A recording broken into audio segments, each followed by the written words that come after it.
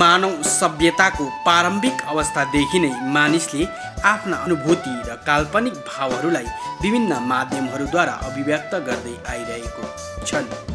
भाषाका माध्यमबाट भाव व्यक्त गर्ने भाषा साहित्य र लोक साहित्य मुद्राका माध्यमद्वारा भाव व्यक्त गर्ने नृत्य नाटक र लोक नाटकहरू चिन्ह वा सङ्केतका माध्यमबाट भाव व्यक्त गर्ने कला चित्रकला मूर्तिकला आदि मानिसद्वारा नै निर्मित कलाहरू हुन्। यी कलाहरूमध्ये भाषाका माध्यमबाट भाव व्यक्त गर्ने काल्पनिक अभिव्यक्तिमा लोक साहित्य र साहित्य पर्दछन्। लोक जीवनका आस्था विश्वास व्यवहार चिन्तन र अनुभूतिहरूलाई कल्पनाको आवरण दिएर रोमाञ्चक तत्त्वहरूको मिश्रण गरी कलात्मक रूपमा प्रस्तुत गरिने मौखिक साहित्य लोक साहित्य हो।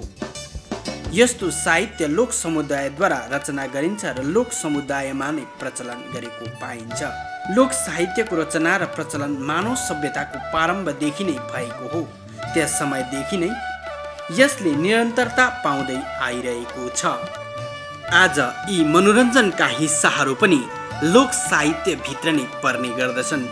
किनभने भानु जयन्ती पालन गर्दा देखाइएका झाँकी संस्कृति परम्परा आदि पनि लोक साहित्यभित्र पर्ने गर्दछन् भने यसलाई हामीले लोक साहित्य नै मान्नु पर्दछ। भाषा बाँचे जाति बाँच्छ अनि संस्कृति बचाउन सकिन्छ। यसैले नेपाली भाषाका आदिकवि भानुभक्त आचार्यले वाल्मिकीय रामायणलाई नेपाली भाषामा उल्था गरी अद्वितीय कार्य गरेका छन्। यसैले गर्दा आज पर्यान्त पनि उनी बाँचिरहेका छन् अर्थात् हामीहरूमा जीवित छन् भन्दा दोमत नहोला।